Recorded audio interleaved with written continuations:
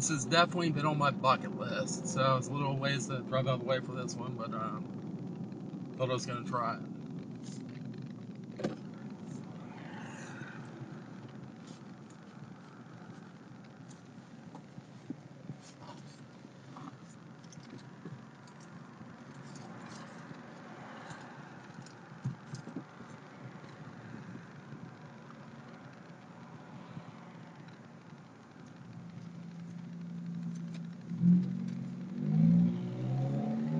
It going?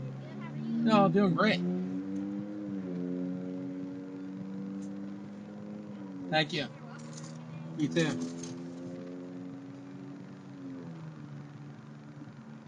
A little skinny here.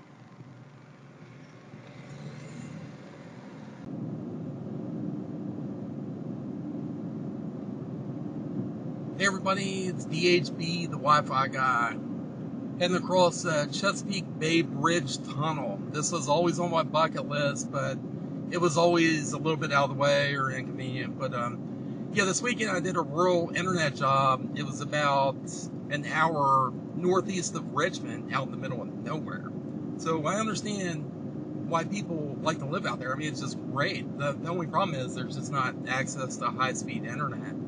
So they have a cellular system and you know, through one of the local providers, and um, the speeds just aren't that great. So I was able to um, show up and basically demonstrate streaming Netflix and you know just you know observing the, the camera, you know, the Arlo and Blink cameras right out of my truck. So um, yeah, that looks very promising as far as you know delivering you know higher speeds at that location. So. Um, yeah, it's a big step to open up the, the Richmond area, the Richmond office, and, and just kind of have a bigger presence down here. Um, but I tell you what, I mean, this this is super cool. I mean, just the experience of you know going through the, the tunnel and the bridge. I mean, it's yeah, I've been over the Bay Bridge a hundred times at least, you know. But um, this Chesapeake Bay Bridge tunnel, this is my, my first time. I'm, I'm really excited about it. So um, thought I'd, I'd share that with you today. But um, yeah, so um, I made the loop from Richmond over here. I'm up here uh, visiting my son at Salisbury, and then on the way back home. So I'm making a, a really big loop today. So um, anyway, it's just really cool. Um, yeah, it is a long bridge. Oh my goodness, it's long.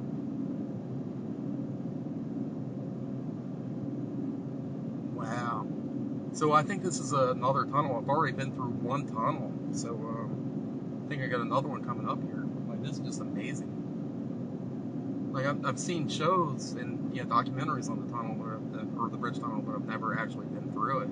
So I'm at the scenic overlook at the Chesapeake Bay Bridge Tunnel. So I just pulled out my Arlo camera and um, yeah, why not capture it for everybody? I mean, it's really cool. Like, I mean, that, that tunnel or the bridge tunnel was amazing to go over and go through. So, I mean, it's just beautiful down here. I wish I had more time. And, um, I mean, I could stay here all day. So, it's really cool stuff. Man, that was really neat. So, um, back on the road, trekking up to Salisbury.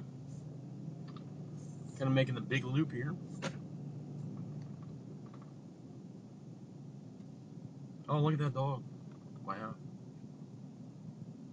Isn't that something?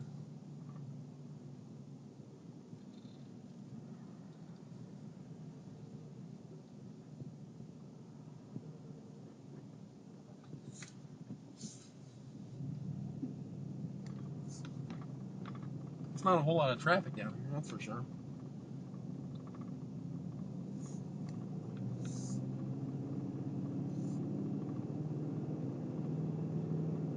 This is so exciting. It's the same problem everywhere. So I mean, that, that's why I, I really want to get out here in the rural areas and prove that cellular is a great option. So if you don't have access to high-speed internet, don't go with the less than satisfactory, you know, satellite services or DSL. Like, I mean, there, there's a huge opportunity for cellular internet.